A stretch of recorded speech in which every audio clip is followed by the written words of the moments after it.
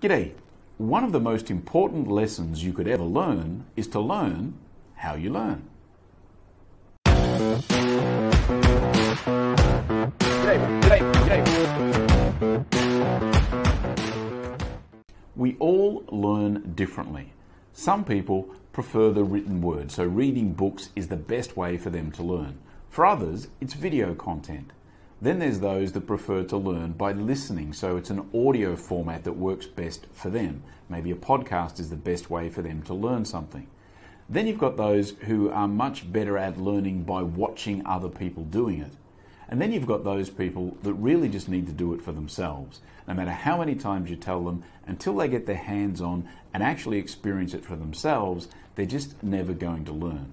The point is, is that we all learn differently. So it's probably one of the most valuable things that you can learn yourself in terms of your own self awareness is to understand how you learn.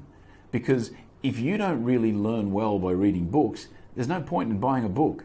Find that same content or similar content in video or audio format, however it is that you prefer to learn. Because otherwise, you're just not being very efficient, you're wasting your time. Now, as a manager, it's also important to understand how your people learn. You might have a team of 10 or 20 people and they all have different ways of learning. And it's a challenge when you're trying to teach them new things. But if you don't understand the differences in the way that people learn, you're going to struggle to teach them and you're going to struggle to learn yourself. Alrighty, that is it for today. I do thank you for your time and I will be back again tomorrow. See ya.